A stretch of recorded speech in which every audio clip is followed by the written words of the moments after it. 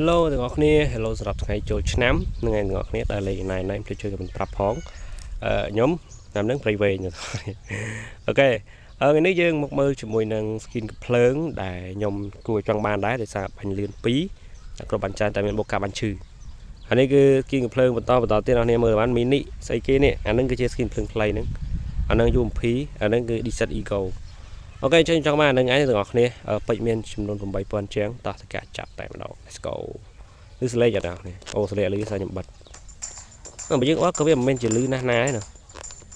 អូខេបន្ថយចេះមកហើយយើងអាចចាប់វាបានហើយណាសូវលឺខ្លាំងទេតោះ let's go 10ដងអឺម្ដង180ណាគ្នាតោះ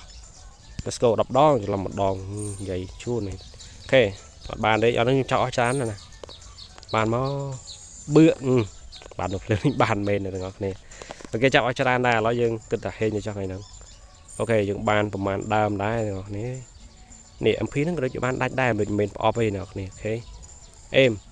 បន្ទាប់យើងចាប់បានមួយហើយគឺអាចឲ្យយើងចាប់ផ្សេងផ្សេងទៀតបានទាំងអស់គ្នានេះអានេះគឺជា skin កំភ្លើងស្អី mini ទេអឺ mini UC ស៊ីហ្នឹងដូចខ្ញុំមានច្រើនដែរហើយស្រានេះគឺបូកការចោះឲ្យក្រោះ2ដាក់គ្រប់បានច្រើនអត់ស្រឡាញ់ហ្នឹង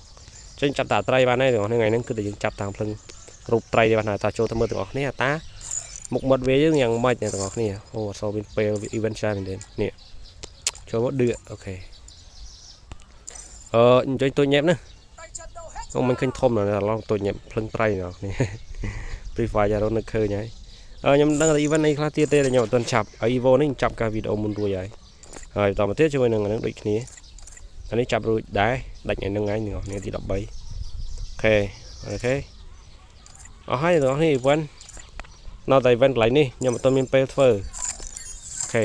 នេះ event ពួកឈុតហ្នឹងហើយនៅ skin កំភ្លើងហ្នឹងហើយនឹងកៅអៅនឹងសារនៅច្រើនថ្ងៃដែរអញ្ចឹងហើយខ្ញុំខ្ញុំទាន់អូខេនេះប៉ុណ្ណឹង